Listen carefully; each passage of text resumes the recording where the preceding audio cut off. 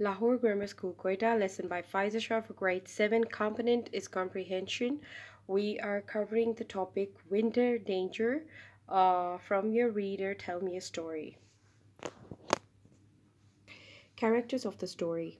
It's Jared, that's Cage's father. He's a woodsy. Uh, Cage, he's the main character. He's a boy um, who's telling the story. Tedlock family, they are relative of Cage's dead mother. Uh, there is Uncle Adam, Aunt Jess, and Sam is Cage's cousin. Now, this story is uh, a historical fiction, a story with fictional characters that is set in a real time in history. So the story may, uh, the story is true, however, the characters are fictional. Okay, summary of the lesson. Did you ever wish you were a pioneer traveling and living in the vast wilderness?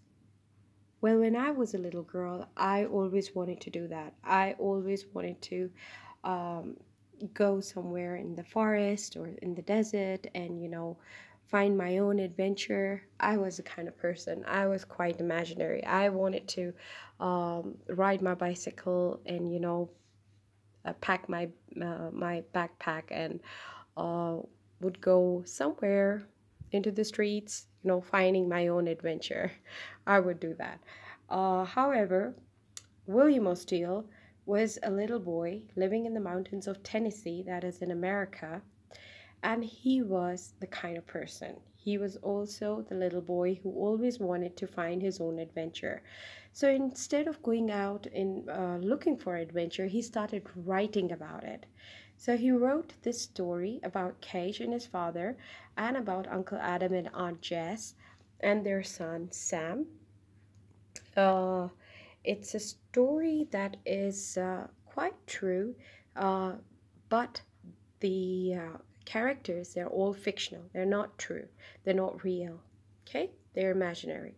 So Cage and his father had come to spend the winter at the Tedlocks, who owned a cabin. Jared is a woodsy. Now, a woodsy is a person who stays in the woods. They don't really have a house. They uh, feed on animal meat and sometimes on plants.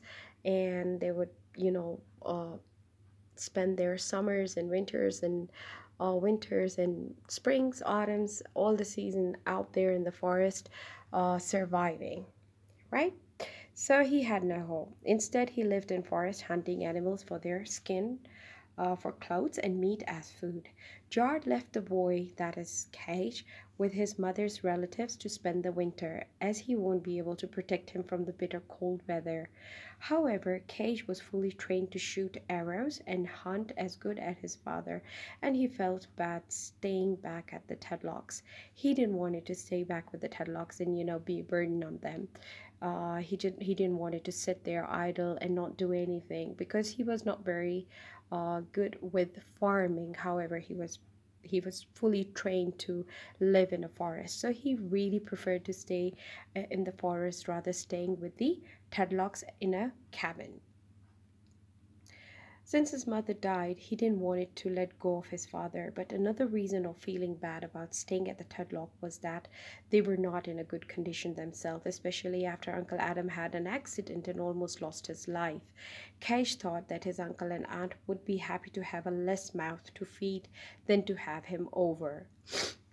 I'm sorry. So, um, so that is why he felt bad. He number one, he didn't wanted his father to go and leave him there uh, the other reason was that he didn't want it, uh, the family to have a burden on them.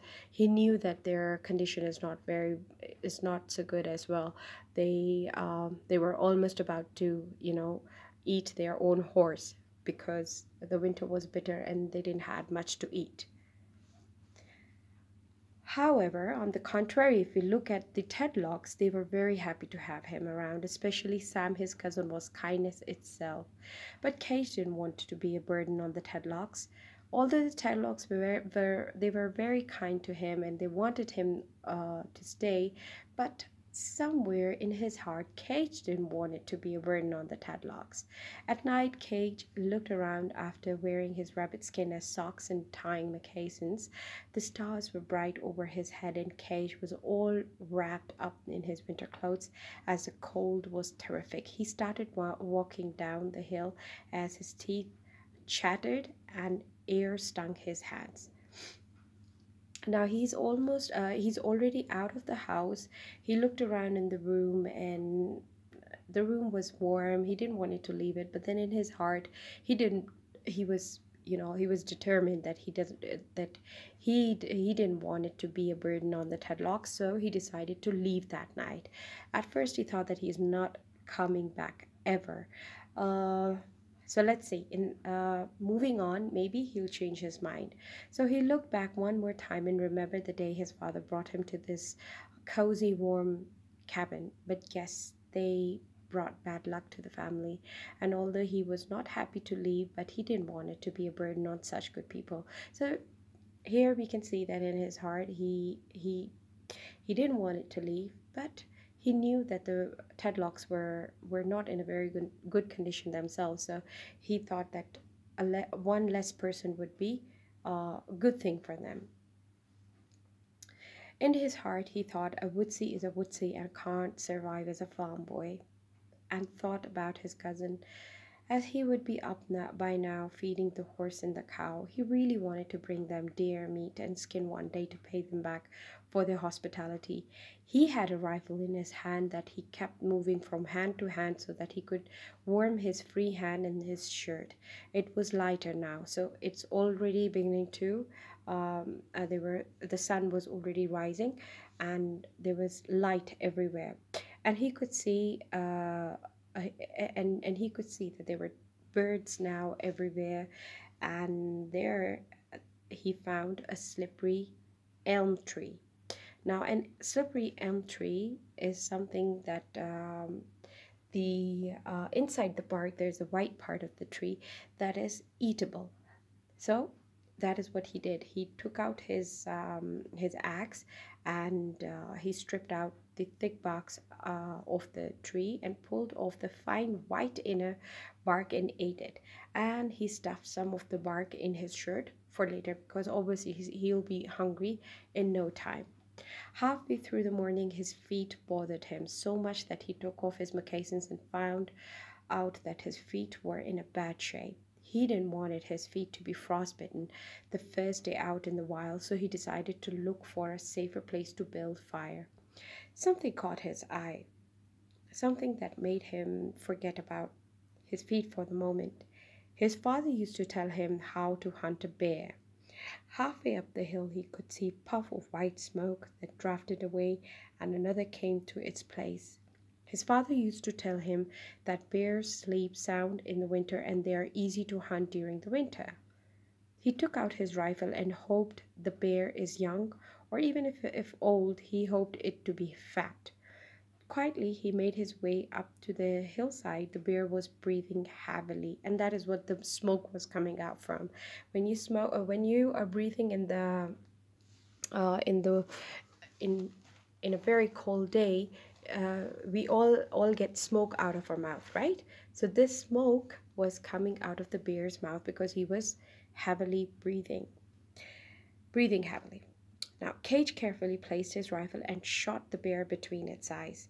He made space in the den and skinned the bear. He was happy because it was a young and fat bear that can easily feed a family. While he skinned the bear, he thought of the Tedlocks. He wanted to take this bear back to their cabin so that he can repay them for feeding him. The bear was enough to feed them all for three weeks. He thought of staying at the Tedlocks for winter, and with warm weather, he could go off and they'd not be bothered with him again. Now, in the beginning, when he left the house, he didn't want to come back ever again. But as you can see, now that he uh, hunted a bear, uh, he's already decided to go back uh, for the winter and maybe he will leave them during the spring. Now, moving on, he worked steadily cutting up the meat. He made a sledge and carefully placed as much meat as he could carry. The rest he carefully placed in the uh, in the bear skin, and he tied it to the pole placed between two trees. It was high off the ground, and Cage was uh, sure that it will be safe up there. Uh, no panther and no wolf will be able to reach there. Right. Sorry. Okay. Um, he thought that later uh, Sam and himself they can come back and uh, they can come back and get it later. While he pulled the sledge, he felt good for not running after his father. Instead, he could now stay with Tedlocks and pay them back for their kindness, especially when Uncle Adam is not well and they are almost out of food. Then he thought of the time when Henry Renfro who had helped Uncle Adam in the spring, Jared said that he would rather do things himself than asking a stranger. But Uncle Adam paid him back by sending him meal when they were ill. It is necessary to pay back favors. Is that so? Would you do that? I would uh, I would like to ask all of you and do answer me. Um, maybe you can write a little paragraph on it. Uh, is it is it very necessary to pay off the favors? Like if you receive a favor, then in return you should also give a give a favor. Is it very important? Okay, so many thoughts uh, boggled his mind while he pulled the sledge back to the cabin. His father never liked taking favors, but Cage knew that people need each other. So as you can see, the boy is already thinking about many things. At first, he he thought that he will leave and never come back, but now he's glad that uh, he didn't really left uh, the Tedlocks and went after his father. Instead, he found a bear, he hunted it, and now he's taking it back to the Tedlocks in order to return the favor uh, that they took care of him. Now, in, in his mind, the question is rising is it very necessary to pay, pay back all the favors that you receive? Now let's see. He realized that his father was wrong to be alone and he trusted no one. Uh, his father was the kind of person who preferred to be alone and he trusted no one. However, Uncle Adam was not like that. He was a different person. He would take help from friends and help them when he could it is not necessary that he would help them out of you know returning a favor. He would be a helper sometimes and sometimes uh, he would ask his friends to help him but his father was different. Now as he started down the hollow cage knew that the Tedlocks never expected any return for what they did for him. They took care of him because they wanted to, and they could. And now that he's going back to the Tedlocks, he knew he was going home. So, as you can see, while in his mind he's thinking about uh, what kind of person is his father and what kind of person is his uncle, and and then uh, in the beginning he thought that he would never go back. He wanted to go to his father um, but now uh, now in his mind he he's already decided that when he'll go back to the Tedlocks it is almost as if he's going back home. Home is a place where you want to stay forever right? So uh, here now in the story it is already decided that uh, Tedlocks are now his family and that he is and that he wanted to go back home now the shadows were growing long. It had taken good while to skin the bear and put the meat in the tree, but he was determined to journey as far as he could. He tried to hurry, but it was getting dark. He turned back and found gray shapes and gleaming eye following him. Oh no, the wolves were after the fresh meat. Normally the wolves weren't too brave. They don't like to give trouble, but these wolves were starving and half mad at the smell of the fresh meat.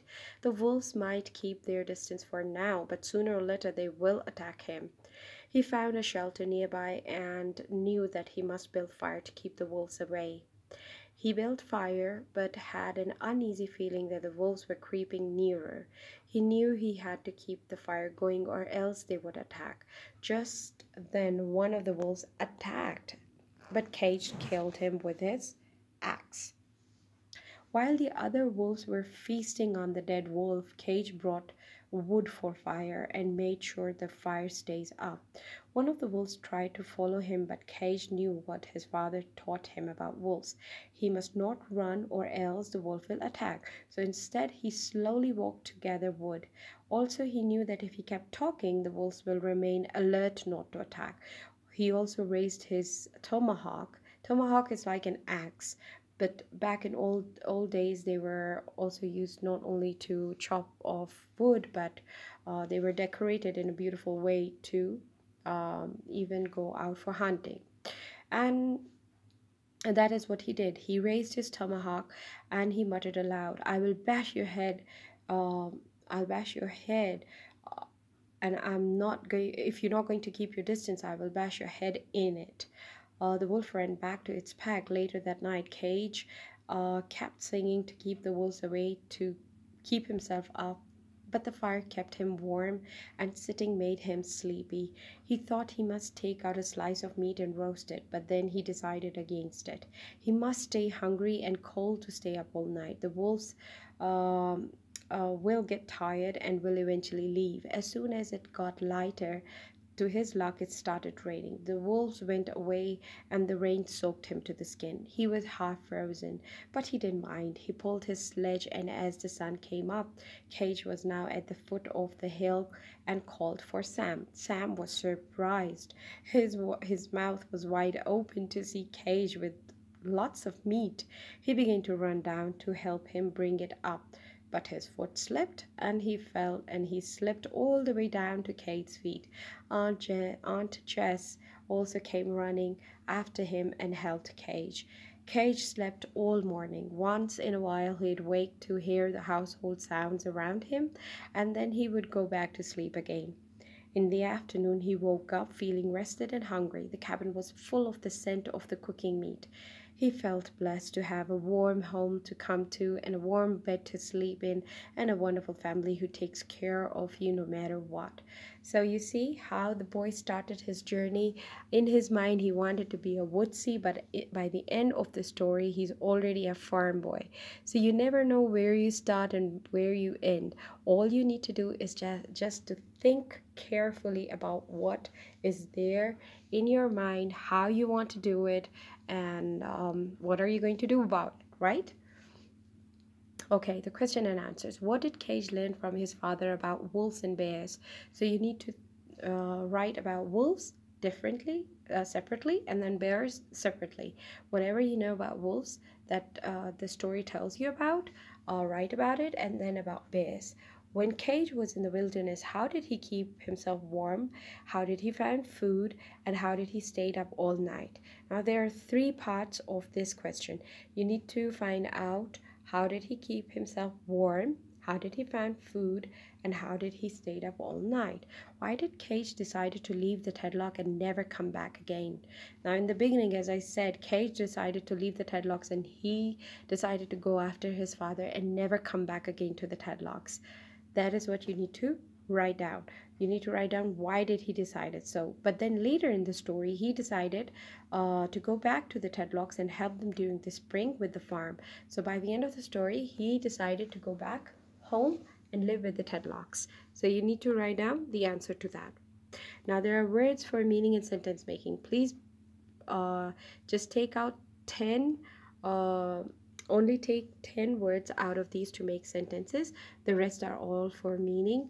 Uh, number one is resented, then squeaked, specks, ledge, drifted, trembled, scuffling, slumped, tingle, thicket, fangs, frizzle, snarl, yelp, and patter.